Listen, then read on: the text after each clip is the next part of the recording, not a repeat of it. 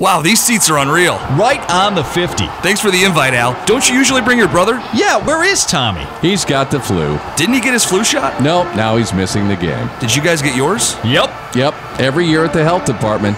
I'll bet Tommy will get his next year. But I can still have his tickets, right? Uh, We'll see. Take the shot. Vaccinate. Call the Kent County Health Department at 632 7200. That's 632 7200.